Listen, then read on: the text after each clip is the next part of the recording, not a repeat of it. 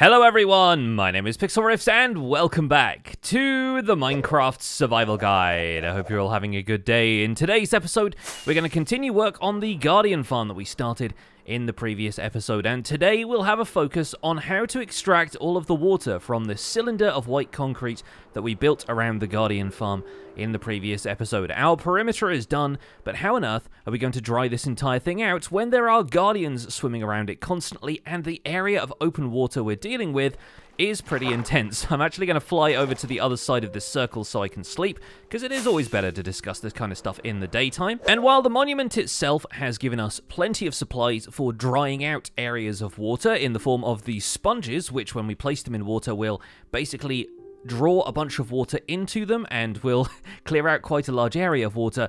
That's not so easy when it comes to large open areas of water like this because of the way Minecraft's water physics work. If I place a sponge right here, it drains a large area, but then the water rushes back in to fill it back up, and what I'm left with is a wet sponge and not a great deal of progress. The reason for that, of course, is the way Minecraft forms water sources. If there are two water sources at a diagonal, then they will fill in the blocks immediately adjacent to them, and what's happening here is that all of the areas that the sponge is dried out have those large open areas of water next to them, which can just reform water source blocks immediately once the block has been taken away. Once the sponge has been removed or once the water has gone, it basically comes right back in. So there are a couple of different ways that we can get around that by filling up this area with a certain amount of blocks, which are either going to divide up this area into sections where the water cannot come flooding back in, or are going to fill up this area with a different type of material entirely. And if you haven't found an ocean monument which contains sponges, I highly recommend going out and raiding another one. Even if you don't plan on turning it into the eventual Guardian farm, if the one that you started your Guardian farm at does not have any sponges, I recommend going out raiding another ocean monument just to find a couple of sponge rooms, because I have a stack of sponges right here, that's probably all I'll need for this project, but having at least that many sponges is usually a good idea if you're taking on a project of this size and you want to drain this amount of water. It just makes sense to have them. Of course, if you want to drain the inside of the monument, it's a slightly different story, because the inside of the monument is already divided up into different sets of rooms, which if we grab a couple of blocks and we just block off the door right here, we could place a sponge in the middle of this room, and the entire thing more or less immediately dries out. We can throw a couple of blocks of sand in the corners here to get rid of the remaining water source blocks, spam it with torches or sponges or anything else, and what we're left with is pretty much an instantly dry room with just a single sponge used. So inside the monument, it's not all that bad. And with the conduit we've got set up in here, we don't really need to worry too much about water breathing or anything like that. We will still need to worry about the Guardians, but it, honestly, you can probably chug another invisibility potion or two and swim around the monument, clearing it out that way. But today we're going to approach a couple of different methods which will also help us drain the perimeter around the outside here and make it a lot harder for Guardians to spawn here to remove all of the water and to set up the Guardian farm how we want it. And I think one of the first things I'm going to do is move our nether portal out closer to the Guardian farm itself because honestly it's going to be easier if we can go back and forth to the nether in a more convenient fashion. Mostly because we want to get back and forth to our base to pick up a couple of useful supplies, but also because the nether allows us to instantly dry sponges. And when we've got large amounts of sponges, it's going to be nice and easy to dry these off in the nether instead of waiting for them to all dry in a furnace. So we're going to break down this portal and move it over to where the ocean monument is. Hopefully we shouldn't have any issues connecting it back up. It might even link to the same portal in the nether, and if it doesn't, it should only be a few blocks away. So we've got a little grass platform on this side. We're actually going to stick our nether portal onto the side of that because the platform here is also going to be host to a couple of devices that are going to make it easier for us to clear out some of this area. First of all, we're going to set up two chests on either side here. We're going to direct some hoppers into them, and on one side, we're going to put a double composter, and on the other side, we're going to put a double smoker. We'll put some hoppers going into these, and we'll come back with enough wood for some input chests for each of those, because we're going to put a couple of things in each of these. First of all, we're going to need to get rid of all of the kelp and seagrass that is down here because whatever method we use to clear out the water, the kelp and seagrass is going to get in the way. Seagrass will just be destroyed when you break it with your hand, but kelp will of course float to the surface, and we might as well make use of some of that kelp either by putting it in a smoker so that we can cook it twice as fast because it is a food, so we can actually cook it in a smoker, and that will create a bunch of dried kelp that we can turn into kelp blocks or eat as a snack. Kelp can also be composted, although in terms of the composter, we're actually going to be doing something a little different with that, and I'm going to throw some bone blocks in here for now because we will need to bone meal a bunch of stuff a little bit later. But if we divide the kelp up that I've already collected from messing around with this ocean monument, you'll notice that it smelts super fast, and once we end up with dried kelp here in the output, nine of this can be converted into a kelp block, which are quite unique looking blocks and might be kind of cool to have around. In a future episode, we're going to make a kelp farm so that you can make as many of these blocks as you want to, but for the moment, I think it's going to be nice to smoke all of the kelp that we have here in this perimeter, and that will give us something useful to do with it all. Anyway, while we're at it, let's check that this portal connects to the other nether portal that we've already got in the nether, which it doesn't seem to, but our other portal should be, uh, yeah, right over there, so really, really close by. Nothing to worry about there. Uh, give or take this canyon of lava in the Soul Sand Valley, which I think we'll need to bridge across. We'll come back a little later if we want to make this safer. but in the meantime, our old portal seems to connect to a lush cave underneath that area, so um, that's kind of cool, I guess. We're also at Y negative 35, which is such a weird place to be, considering how high up we were in the nether. I'm, I'm really surprised that that portal didn't leave us somewhere on the surface, but eh, never mind. What we're going to do in the meantime is fly back through the nether hub to the Dripstone cave base, which contains some supplies that I think we're going to use for one of our water clearing methods today. And they are right over here. We can potentially use Warped and Crimson Fungus, or the large Warped and Crimson Fungus at least, to drain out the areas of water inside and outside the ocean monument, for which we are going to need at least a stack of the corresponding Nylium for each type of fungus, but that's nice and easy to gather if you know where the biomes are. Alright, I think we have everything we need. Meet me back over at the ocean monument and we'll get started. So, as I mentioned, one of the first things we're going to do is swim around the perimeter of the ocean monument, clearing out any water foliage that is down there. Any plant life has to go, so seagrass and kelp both have to go in this case. We're going to drink another potion of invisibility so that the guardians don't attack us, remove everything but the depth strider boots, which is going to keep us maneuverable down there, We're just going to hop in and do the thing. It's going to take a little while to clear all of this stuff out, but it's going to be worth it in the long run. And of course, if you want to bring down some shears so that you can collect the seagrass for whatever turtle breeding project you have going on, or just for decoration elsewhere in your worlds, you can bring that too, but it's usually pretty easy to get seagrass just by bone mealing it, so I don't tend to worry about that stuff. One of the reasons we're getting rid of this underwater foliage is because one of the main methods we're going to use to create like individual sections here that we can dry out using sponges is by placing sand from the top down. And while sand will break seagrass, if I place a block of sand there, it is going to break the seagrass as it hits the bottom down here. Sand will actually break on top of kelp, and that's a problem because kelp is going to be all over the place down here, and you want to make sure that the sand blocks that you drop will make it to the bottom and form a pillar. And while breaking the seagrass up here might not be super necessary, sometimes it can be hiding kelp plants. Like if a piece of kelp is growing like there, for example, you don't always notice it amongst the tall seagrass. So I recommend clearing the seagrass out as well. Not necessary mechanically, but pretty necessary so that you can eyeball it and see where the kelp is still growing. As the kelp all floats to the surface, we are going to swim around and collect it. You could do this in a boat as well, which is probably slightly faster, and there's no real need to collect all this kelp. You could let it despawn if you want to, but kelp blocks are also kind of useful as furnace fuels, so we can potentially do something cool with those a little bit later. At the very least, we can turn the dried kelp we've made so far into kelp blocks. We can put that in the fuel slot of these two smokers, and now we can use those to smelt 20 kelp each, which is honestly not too bad. it makes for a pretty useful fuel source. Anyway, we're just about done removing all of the kelp from around here. I am going to quickly run around and check that the seagrass isn't hiding any more of it, so we'll probably remove some of the seagrass as well, but my first invisibility potion is about to run out, so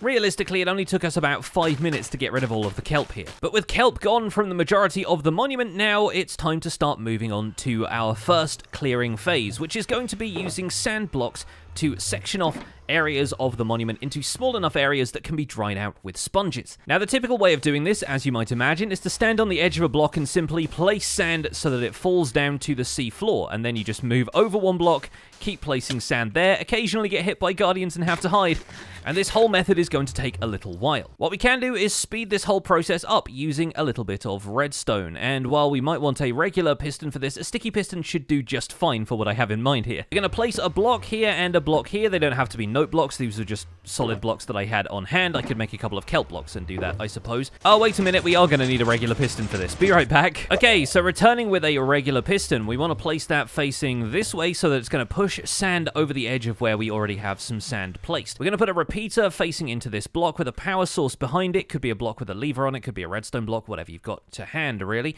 We're going to place one redstone dust there and a solid block next to the piston here. And now whenever we place sand in front of this, it's going to be pushed over the edge, so we can effectively allow the piston to push sand this way for us. And by holding down right click, we place a sand block there more or less every time the piston retracts, meaning that we can fill up a large area pretty quickly. If you wanted to, you could even go one step further and fill up a dispenser full of sand, which would activate every time this circuit activates as well, meaning that as you place the sand here, your inventory is constantly being refilled with blocks of sand from the dispenser. It might be a little noisy, but in the end, this method is vastly more time efficient than crouching, looking at the side of a block, and right-clicking the sand into place. Now, naturally, the only problem with this method is the 12-block piston push limit. At that stage, we will have to relocate the piston pusher somewhere a little further out, and that's where we're going to start to run into problems with Guardians, and why I've brought enough invisibility potions that those can last a little while. You're also going to find yourself running out of sand pretty quickly, because in this case, we've used a, one row of a shulker box plus a little bit extra, and given that our circle is 82 blocks across, we are probably less than one-sixth of the way over here because we've only gone 12 blocks in, so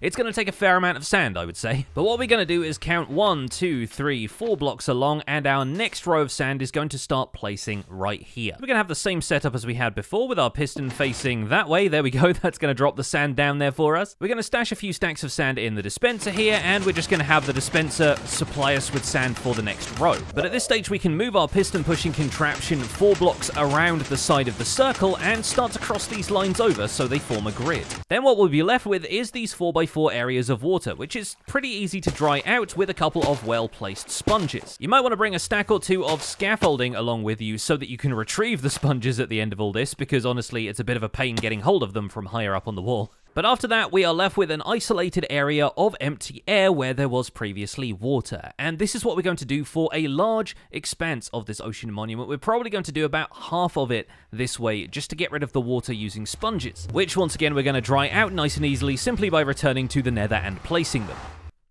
Now we're going to put the sand draining method on hold for now, so that I can talk about the other method that we had in mind. And the reason we went back to the dripstone cave to gather up all of this Crimson and Warped Nylium, and a handful of the Crimson and Warped Fungus, because we are about to try draining some of this monument using nether trees. I'm going to bring a few sand blocks as well, but any blocks will do here just to make sure that we can cordon off an area down there and make sure it is completely dry. And we're going to chug another invisibility potion because the Guardians are clearly onto me at this point. Now, down here in the depths of the monument, we have a decent layer actually here where we can probably block this off. We're going to swim into this area underneath the pillars of the monument. We're going to close all of this off, and then we're going to drop a sponge so that we clear this area of water and give ourselves a bit of space to work. Let's put one sponge here, and that's most of the room cleared out. And down here, underneath this section of the monument, for demonstration purposes, we're going to start a small nether wood farm. We're just going to space things out, maybe leave a couple of blocks in between each of these trees so that they have a little bit of room to grow, and so that the foliage on the top, the nether wart blocks that generate are going to have a little bit of room to intermingle up there. We could plant all of these trees side by side on blocks of nylium immediately adjacent to each other, but I'm not going to do that quite yet. Instead, we're just going to plant them on alternating blocks like this, and then we're going to grab a bunch of bone meal. And now, down here underneath the monument, even though we have prismarine blocks directly overhead, we're going to start spamming some of these crimson fungus with bone meal. And in defiance of conventional tree growing, they will have absolutely no problem growing up through the prismarine blocks, because one aspect of nether trees which goes largely unappreciated is their ability to grow upwards through other blocks. Now that doesn't always mean they have replaced the blocks above them, because as you can see here where we grew a nether tree, it hasn't replaced the prismarine blocks. It has, however, replaced the blocks above them that were previously filled with water. And now if we return to the tank here so that we can take a look, you'll see that a pretty large area right here has been taken up with nether foliage. The crimson trees have grown up through the structure of the ocean monument and have left a bunch of nether wart blocks around the outside. So the nether trees will grow and fill any air blocks, they will also grow to fill water blocks, and these are the only types of trees that will do something like this. And so, in theory, we could take a bunch of the nether trees and use them to gradually fill this entire area with nether foliage. Any additional trees grown adjacent to these will probably grow in some nether wart blocks to fill in the gaps. And then what remaining gaps of water we have, like in here, for example, where there's clearly a couple of blocks inside of there, those we can come through after and use sponges to clear out the remaining water sources. Now, naturally, this is the kind of work that is best undertaken from the bottom upwards. It can present a bit of a problem trying to grow these nether trees around water because while we can place some crimson nylium in water, we unfortunately cannot place a crimson fungus on top of it without it getting swept away by the water flowing back into the space where it was just placed. And so it's going to be necessary to dry out any areas that we want to place the crimson or warped fungus before we grow them up through the floor of the monument and into the area above. All we need to do is cut down the majority of these from below until we end up with a solid floor of nether wart blocks, and at that point we can start growing a second layer up through the first layer and continue to replace all of the blocks above with nether wart. So I think for this monument we're going to do a bit of a half and half approach. We're going to spend half of our effort on this side doing the sand method where we end up boxing it off into areas like this, and we'll try and drain the other half using the nether foliage method, which might take a little bit longer, but it is a possibility if you don't want to go digging this much sand or you don't have any sponges available to you. It's also a neat way of farming the nether wood if you don't have too much of that, and the nether wart blocks can be thrown into the composter here once they are ready to be removed, allowing us to get more bone meal that can make the operation a bit more self-sustaining. Well, there's no time like the present, and no other ways to get this done right now, so I think we're going to spend a lot of time draining the exterior of this ocean monument, and we're going to do that in the form of a time lapse.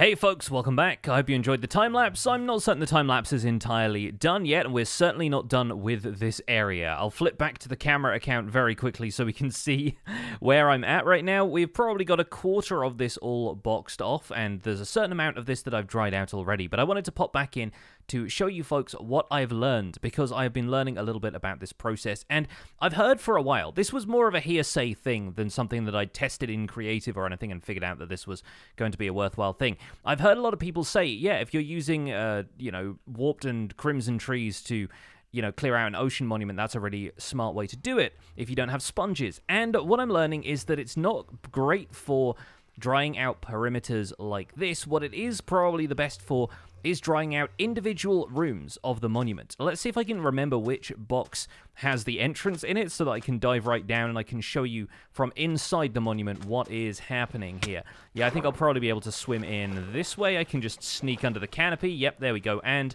we're in. Thankfully, conduit power still active so I can show you what's up. So if we come through here, this area has been effectively cordoned off by all of the warped foliage growing and there are still occasional pockets of water here and there. I should have brought my hoe with me so that we could actually, you know, mine this stuff out more effectively, but I sort of don't want to disturb too much of this yet. The idea being that if we fill up the entirety of the monument from below with these warp trees, it does make it a little bit easier to clear out, and some of them grow high enough that they will actually grow up through the center of the monument. It hasn't happened in this case, but the conduit is right there, and I've actually been avoiding growing stuff too close to the conduit just in case we lose conduit power. The conduit itself won't end up being replaced by the blocks of the warp tree, but the water spaces around it might, and that's what the conduit needs to actually stay active, so I've been trying to avoid that. But realistically, it seems like sand is going to be the most potent way of getting rid of all of this stuff. Sand and sponges, really, because I still have a full stack of sponges. I've been drying them out in the nether every so often, and we have dried out and removed the sand from each of these areas where you can see the edges of the monument are starting to come through. And I think I really favour this systematic, organised approach over what we've been doing with the Warped and Crimson trees. Diving on back down here, if I fly through the wall, or uh, I, it feels like flying, honestly, when you are when you've got conduit power and you can see really well underwater. But this entire field was Warped and Crimson Nylium. I grew the trees up through the bottom of the, the monument right here.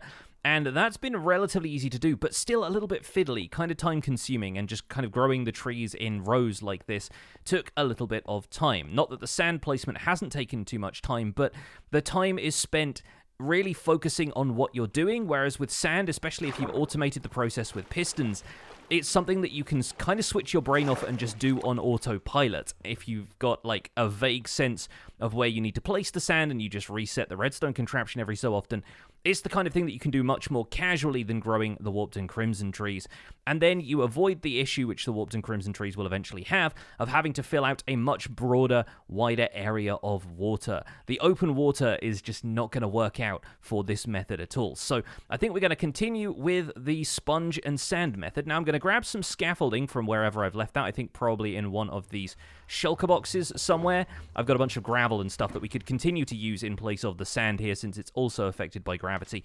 But I think we're going to reclaim a lot of this sand as we did in the earlier portion of the time lapse. And all that really requires is for us to dive down here. I'm going to place scaffolding all the way up from the bottom because these areas are 4x4 and so Unlike a 3x3 area, it's not always guaranteed that placing the sponge is going to hit every single block. The sponge clears out a specific number of blocks, drying them out completely, but it will sometimes leave like one there on the corner in an area like this, which is a 4x4. And if we place another sponge right here, then sometimes it will still leave that one piece of water dried out. So that's where we need to either put another sponge there or place a couple of sand blocks that will just fall on through, and we'll collect those at the bottom if we need to. But I systematically go down the scaffolding, placing these sponges every so often and removing them as I go, and that way I avoid the tricky business of having to get the sponges from halfway up the wall on the way back. And it's nice and easy to just suck up any more water that is around here, place one more or two more sponges, and I think we should be good with this column.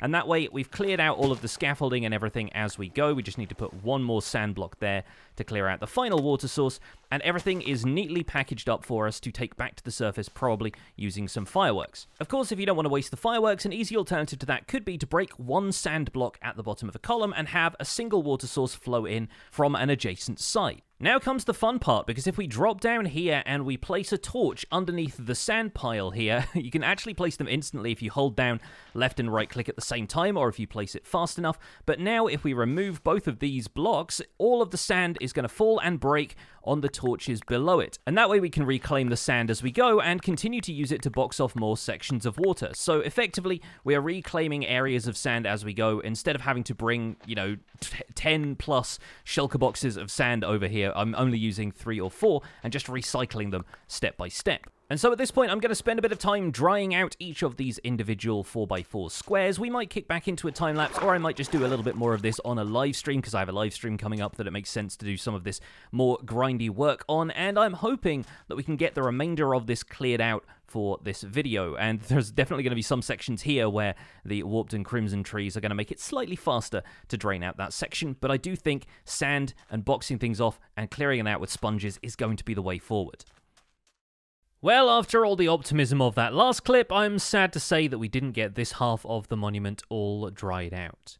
But we did get this half all done, and I'm very happy with this actually. It took longer than I expected just to clear out all of the sand to begin with, because gosh, that was a lot of sand. But once we've got into a rhythm of placing it all using those piston assisted methods, this whole thing went by pretty quickly. We managed to get the remainder of this area cleared out within about a four hour live stream. And gosh, it feels weird seeing all of this prismarine still in the ocean monument form, but in the direct light of day, without it being completely submerged in water.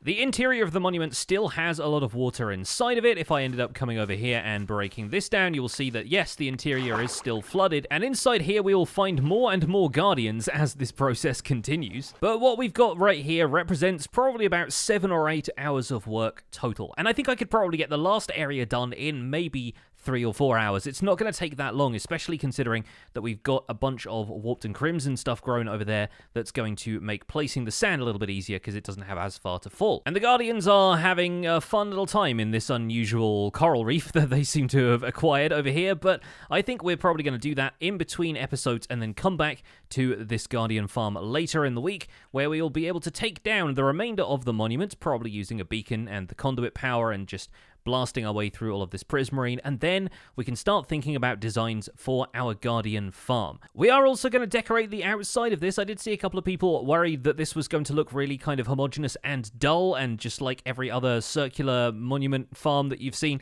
we are going to decorate this and make it look a little bit prettier. I have a couple of ideas already that I just want to draft, and they're not going to come in with the Guardian farm. That's probably going to take a little bit longer, but I do want to turn this into kind of a showpiece for the world and one of the highlights of the series series so far. So hopefully you folks are along for the ride. Thank you so much for watching this episode of the Minecraft Survival Guide. My name has been Pixlriffs. Don't forget to leave a like on this video if you enjoyed it. Subscribe to my channel if you want to see more, and I'll see you folks soon. Take care. Bye for now.